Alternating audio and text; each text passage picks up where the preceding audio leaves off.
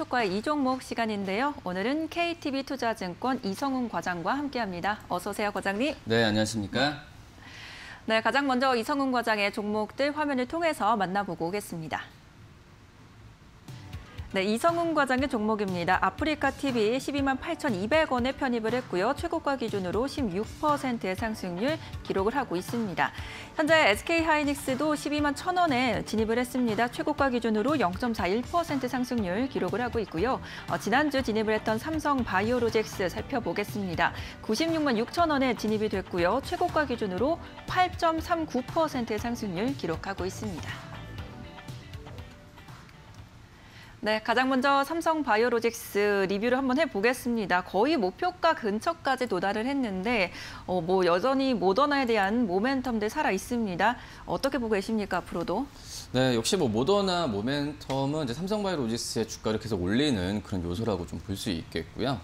뭐 제가 봤을 때도 이 코로나에 대한 부분 그리고 좀 이 백신 모더나 얘기가 이 많잖아요. 지금 현재 시사 사회적으로도 그렇고 우리나라와 또 이제 미국 간의 그런 부분에 있어서 이슈가 계속 될 만한 요인이라고 좀 판단이 되고 있고요. 물론 이런 모더나 이슈만 있는 게 아니라 지금 이제 2분기 실적으로 확인됐듯이 어떤 비용적인 요소 그리고 어, 공장의 가동률을 본다고 하더라도 펀더멘탈상으로 충분히 우상향 방향으로 갈 수밖에 없는 구조이지 않을까라고 판단되고 그래서 목표가를 도달했을 때도 보유 관점으로 어, 갖고 가시는 게 낫지 않을까 이렇게 판단됩니다. 어, 그럼 코로나와 함께 계속해서 좀 모, 그 모멘텀이 좀 지속이 될 거다 이렇게 보고 계시는 건가요? 당분간은 그렇게 될 것으로 판단이 되고 있고요. 이거는 뭐 SK 바이오사이언스도 그렇고 삼성바이오로직스도 그렇고 우리나라 뭐 CMO 기업들에 대한 부분에 있어서는 이 바이오 섹터 안에서도 가장 어떤 투자 심리가 좋아질 가능성이 크다라고 좀 판단이 되고 있고요. 뭐 그러기 때문에 이 크게 말씀드리면 뭐 CMO, 뭐 그리고 진단키트, 제약바이오 안에서도 가장 큰 탑픽 종목으로 매수 관점으로 들어가는 게 맞다라고 판단이 되고 있고 어 뭐 진단키트라고 한다면 뭐 시즌이겠죠. 그리고 이 제약바이오라고 한다면 셀트론이기 때문에 이 섹터 안에서 대표주로 공략하는 게 지금 현재 시장에서는 제일 유리하지 않을까 이렇게 보입니다.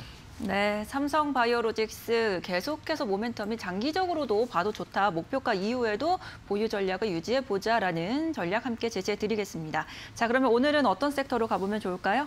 어, 오늘 이제 화학 섹터. 아, 네. 네, 화학 섹터를 좀 말씀을 드릴 텐데 뭐 화학 섹터라고 하더라도 석유화학이라고 좀 볼 수 있겠는데요. 어, 지금 이제 석유화학 업종들의 주가가 거의 좀 몇 달 동안은 뭐 두 달뭐 이상 주가가 지지부진한 모습을 좀 보여주고 있거든요. 실적은 굉장히 잘 나왔어요. 뭐 2분기 실적을 본다고 하더라도 뭐 금호석유, 뭐 반기 실적이 뭐 3년 5개월 만에 최고치를 좀 나타난 상태고 뭐 LG화학도 그렇고 롯데케미칼도 그렇고 이 실적에 대한 부분이 2분기 때 어, 크게 어, 역대 급의 실적이 좀 나왔던 상황인데 지금 이제 주가가 이렇게 음, 지지부진한 모습을 보여주는 게 이 경기 우려감이거든요. 코로나 나온 이후에 이 경기에 대한 우려감 때문에 이 석유화학 제품에 대한 수요 부분이 급감할 것이라는 우려가 지금 주가에 좀 선반영되는 모습을 좀 가, 가지고 있고 가장 큰 어떤 수익성 지표라고 할 수 있는 이 스프레드에 대한 부분 같은 경우에도 이 반등 부분을 좀 주지는 않고 있는 상태이기 때문에 이 3, 4분기에 대한 수익성에 대한 부분을 어, 악화시킬 수 있다라는 얘기가 좀 많이 나와주고 있는데 그 때문에 좀 아이러니하죠. 뭐 2분기 실적 최대 나온 상태에서 이 3분 하반기와의 실적 차이가 크게 좀 벌어질 것이라는 의견이 좀 많으면서 이 부분이 주가에 좀 많이 반영이 지금 되고 있는데 말 그대로 지금 선반영이라고 좀 볼 수 있어요. 그렇기 때문에 어, 어떤 뭐 국제 유가나 여러 가지 뭐 지표로 봤을 때도 지금은 이제 이, 이 선반영 이 우려감에 대한 부분이 어, 약간은 좀 시간이 지나면서 완화되는 추세로 가고 있거든요. 그렇기 때문에 이 리스크된 요소 부분이 좀 적게 되지 않을까. 그리고 그렇기 때문에 그이 석유화학들의 주가 부분 같은 경우에도 이 하락세가 좀 멈추면서 좀 반등 부분을 최근에 좀 보여주고 있는 상황이기 때문에 화학 업종에 대한 관심을 좀 가져야 되는 게 맞지 않을까 판단되고 있고요. 그 다음에 이제 미국 쪽에서의 얘기죠. 지금 1조 달러의 인프라에 대한 투자 부분이 지금 얘기가 지금 나와주고 있는데 가장 크게 이제 인프라 쪽에서의 투자라고 한다면 이제 건설 업종에 대한 투자 부분이 크다라고 좀 볼 수 있겠는데요. 뭐 PVC나 여러 가지 화학 제품에서 필수적으로 들어가는 부분이 이제 건설 업종이 제일 크기 때문에 이 업종별로 봤을 때도 이 건설 업종의 호, 호황이 어, 우리나라 쪽으로 수주가 연결되지 않을까로 판단되고 있고요. 물론 이제 미국 쪽에서 인프라 투자에 대한 방향성 그리고 이게 우리나라 기업들한테 수주가 될지 부분은 지켜봐야겠지만 아무튼 지금 화학업종 안에서는 어, 이거에 대한 이슈 부분은 긍정적인 상황이다라고 좀 말씀을 드릴 수 있겠고요. 뭐 그리고 이제 우리나라 안에서도 봤을 때도 이 건설이나 여러 가지 민간주 쪽으로도 할 수 있겠지만은 어, 내, 내수 쪽에서의 수, 그 판매 부분 늘어나고 있으니까 좀 화학업체나 반등 부분은 기대도 괜찮지 않을까 이렇게 보입니다.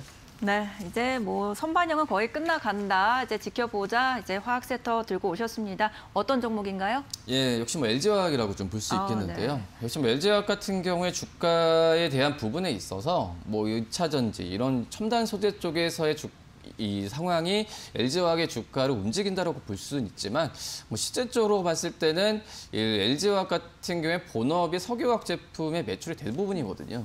그렇기 때문에 이쪽에서 성장세로 봤을 때 2분기 영업이익 같은 경우에도 2조 2천억을 기록했는데 이 컨센서스 대비해서 굉장히 좀 좋게 나오는 상황이거든요. 저는 이제 이 3, 이 3, 4분기 때도 충분히 어떤 지금 시장의 우려감도 있긴 하지만 2조 이상의 영업이익 꾸준히 유지할 가능성이 좀 크지 않을까라고 좀 판단 되고 있고요.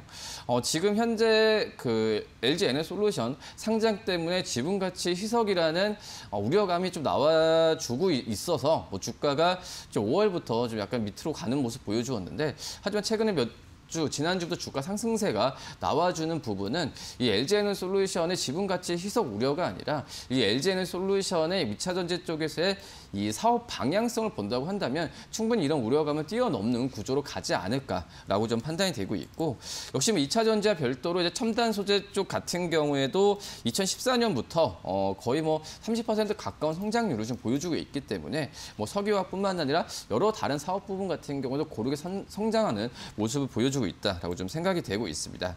어 그렇기 때문에 어떤 이 LG엔 솔루션의 이, 실, 이 상장에 대한 우려감보다도 이 본업에 충실하게 된다고 한다면 LG, 그 LG화학의 주가의 상승 여력은 나올 가능성이 크다라고 판단되고 있고요. 어제 89만 6천 원으로 어, 마감을 했는데 이 목표가는 10, 어, 110만 원 그리고 손절가는 80만 원 말씀드리겠습니다. 네, 오늘 시초가에 공략할 종목 LG화학 제시해 주셨습니다. 요즘 좀 이렇게 대형주 위주로 집중을 하고 계시는 모습인데요. 오늘 목표가 110만 원, 손절가 80만 원 제시해 드리겠습니다. 오늘 말씀 잘 들었습니다. 네, 감사합니다.